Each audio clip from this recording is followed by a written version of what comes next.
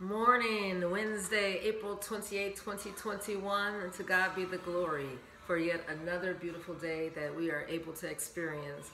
We hear in the background, Welcome Holy Spirit. We are in your presence. Fill us with your power.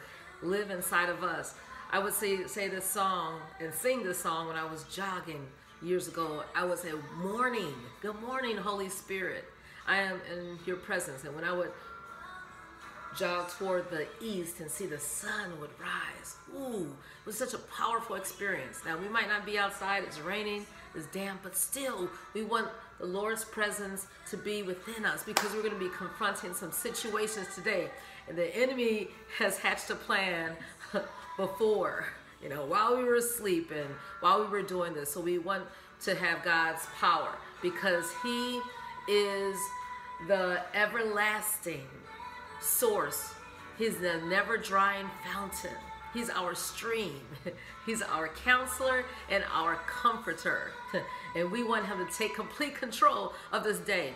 I went back to 2 Samuel 11 and I, I read some more detail as far as how, like I said, David, the the warrior, the triumphant one, teenager, shepherd, you know, playing the harp, right? He was the one who took care of the sheep and, and was victorious, you know, with the bear and the lion and, you know, a, a man after God's own heart, but still just that little bit of room.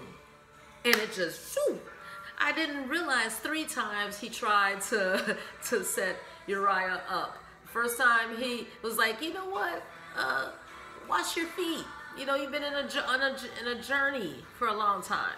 And that's when Uriah sat at the door, you know. And then the second time, he took him to the palace to eat with David and to get drunk. Look, that night, he didn't go home. He still sat with the mercenaries, his, his fighting men. He didn't go home. He was like, I couldn't do that.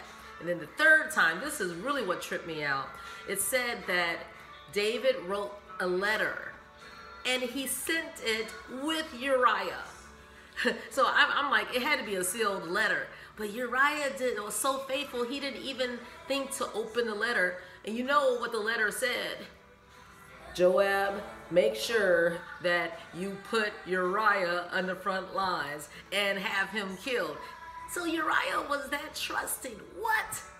And we know what happened. So three times David was really like out of character. But that's what the enemy will do to us. We'd be like, what is going on?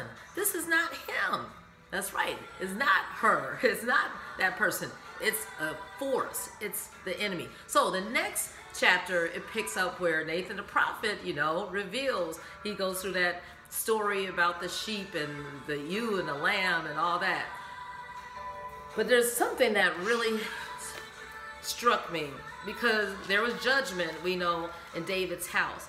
And David was very sorrowful. We know that's what um, he wrote in Psalms 52 created me a clean heart, Lord. Oh, and he also fasted. And he fasted for six days at least. And then the seventh day, because we knew that Bathsheba was with child, the child dies. So he was without food or anything. And then it says that that in verse 21 he fasted and wept for the child while it was alive but when the child was dead mm, and then it says in verse 21 Yes. What thing is this that thou hast done? Because the people were like, Why are you eating? And this is what he did. David rose up from the earth because, you know, he was mourning. He washed himself, he anointed himself, he changed his clothes, and he went to the house of the Lord. I believe that's when he wrote all those Psalms, especially 52. Uh, Restore unto me the joy of thy salvation. Get me back in the right relationship. He worshiped, then he came to his own house, and then that's when he ate. The Lord wants us to, to do what he did. He fasted and prayed while there was hope for that child. That child was alive. A situation might be still alive in your life. It is time for us to turn the plates over because we have been assigned to that situation. because we're the ones to offer hope in that situation.